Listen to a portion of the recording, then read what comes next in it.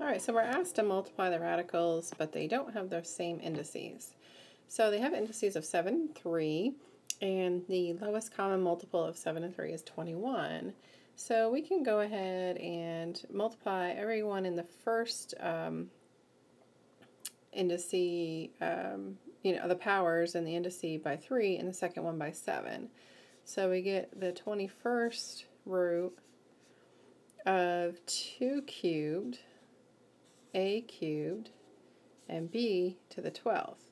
So keep in mind that 7 times 3 is 21, so everybody in the inside has to be raised to the third power as well.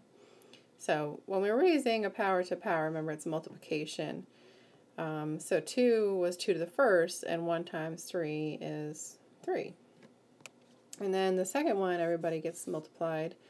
Well, the powers get multiplied by 7. So we get 20, the 21st root of 4 to the 7th. Again, 4 is just 4 to the first, and 1 times 7 is 7. A to the 14th, and B to the 7th.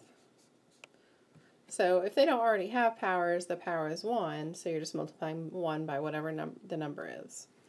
Combining them, uh, we get 2 cubed now 4 is actually 2 squared, um, so I'm going to write it up here. 4 is equal to 2 squared. So I'm going to substitute 4 with 2 squared, and, and it'll hopefully make sense in a minute. And then we get a to the 17th, so we're adding exponents now since we're multiplying the bases.